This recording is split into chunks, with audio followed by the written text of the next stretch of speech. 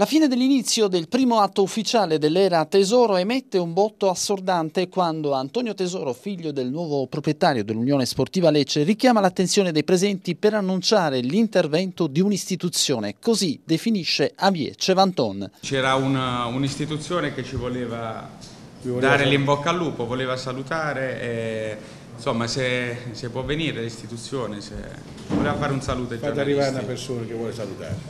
Fate arrivare.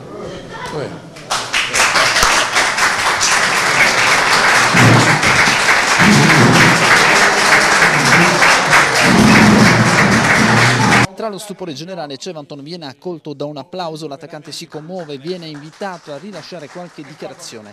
Consapevole di questo qua. Che posso dire? Ringraziare a, a loro che hanno fatto tantissimo, non solo darmi un'allegria di riportarmi a casa mia, sino hanno preso questo meraviglioso Lecce e, e lo- sicuramente lo faranno uscire da questo brutto momento che, stiamo, che abbiamo vissuto tutti quanti. Io voi di qua a casa, io eh, da lontano. Ho sofferto tantissimo eh, e sono felice di essere qua. Mi era passata la voglia di giocare. Voi sapete bene che io amo questi- questa città, questi colori.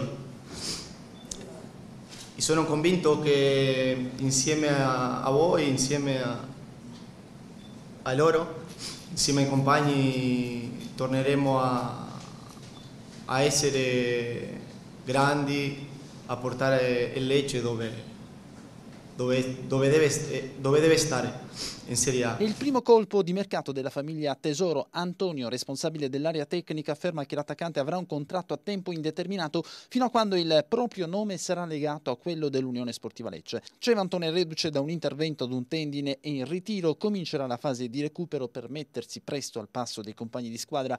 La conferenza stampa di Savino Tesoro, originario di Spinazzola ma tifoso del Napoli, era cominciata con una gaffe. Proprio perché si è trattato del Lecce, abbiamo fatto, abbiamo ritendato questa avventura, per noi veramente avventura, nella, diciamo, nella Lega Pro. Nella Lega Pro Nella Lega Pro eventuale, no, perché, no, perché sappiamo, eve- eventuale anche. Non abbiamo mai pensato di venire a fare avventura calcistica a Lecce. Noi siamo sempre gente semplice e vorrei, se sarà possibile, fare il presidente del popolo, non voglio fare il presidente Della Lecce Bene, della, della Lecce Bene o della Lecce, vorrei fare il presidente, ho detto, di tutto il popolo giallorosso. Consapevoli dell'eredità calcistica raccolta dalla famiglia Semeraro, hanno promesso massimo impegno e serietà. La molla che ha spinto definitivamente Tesoro ad avventurarsi nell'esperienza leccese è stato l'entusiasmo della tifoseria giallorossa, nonostante una retrocessione appena maturata sul campo. Il programma prevede massima attenzione per il settore giovanile, che sarà il serbatoio della prima squadra. È incontrovertibile che il giocatore nato in questa terra abbia una spinta emotiva molto più importante del professionista che venga da fuori, quindi ci mette quel quid in più a livello di cuore che fa la differenza.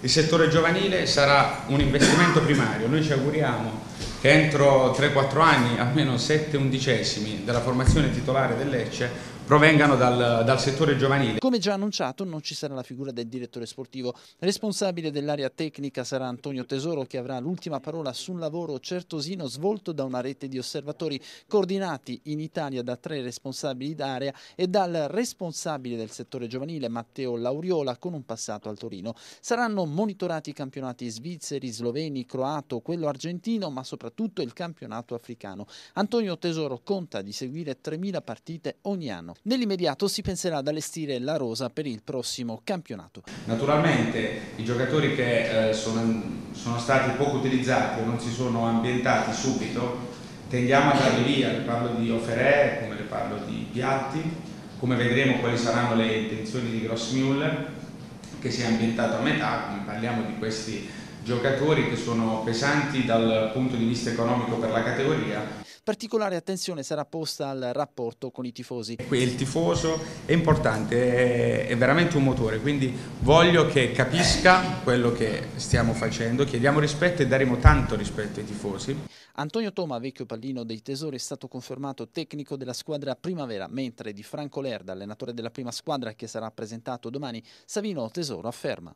Quindi abbiamo una grossa stima noi da un punto di vista tecnico di Lerda.